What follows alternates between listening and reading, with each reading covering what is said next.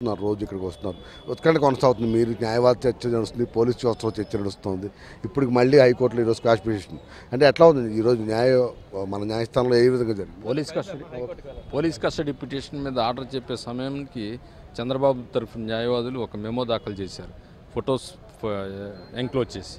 Already విచారణ జరిగిపోయింది. ఇది ఓన్లీ పబ్లిసిటీ కోసం ఈ కస్టడీ అడుగుతున్నారని అన్నారు.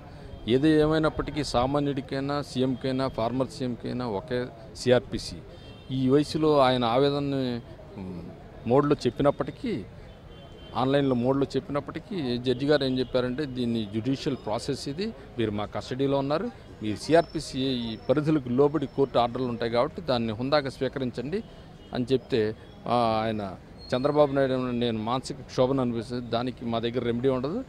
చట్ట ప్రకారం ఏదైతే ఉందో అది మేము చేస్తాం. దాన్ని మీరు ఇది ట్రయల్గా స్వీకరించాల్సిన అవసరం లేదు.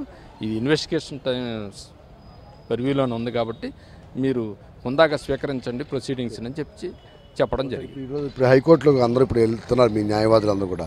ఆ క్రాష్ పిటిషన్ పరిణామాలను బట్టి ఎట్లా ఉండబోతున్నాయి పరిస్థితులు?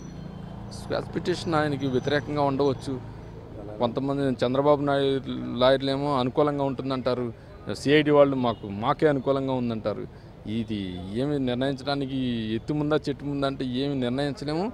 అక్కడ ఆర్డర్ని బట్టి ఉంటుంది. వాళ్ళ మీద వాళ్ళకుండే ప్రెజర్ వాళ్ళకు ఉంటుంది దాన్ని బట్టి ఆర్డర్ ప్రకారంగా ఏదైతే అదే శిరోధార్యం.